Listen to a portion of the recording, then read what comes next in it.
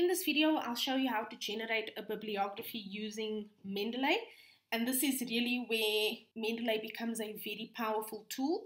Although you can only generate a bibliography if you have already added references to your document. So Mendeley is a machine Word is a machine, so it doesn't know what you want. You need to show it what you want.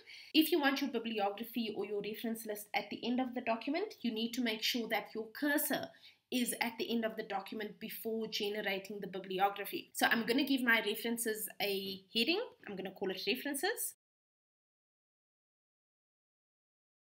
And then I want my bibliography to be generated directly underneath this heading. So I'm going to put my cursor exactly where I want the bibliography to be. Then I'm going to go to references and click insert bibliography. You will then see a bibliography is generated based on all the references that you've included in your document. If a particular reference is in your Mendeley library, but you have not referenced it in your document, then it won't actually come out in your bibliography. I also want to demonstrate to you what happens when I add a reference that I haven't added before.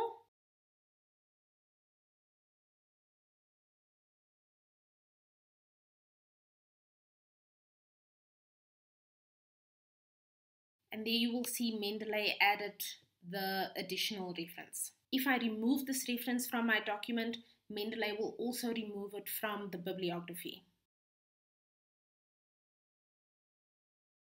It's very important also in the bibliography that you don't manually edit anything.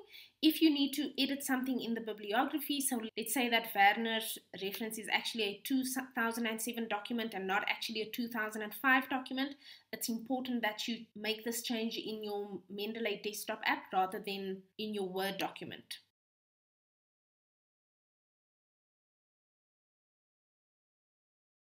Once you've made that change, you can click the refresh button and that will then change the date to 2007 in your reference list as well as in each of the in-text references you have included for that particular author.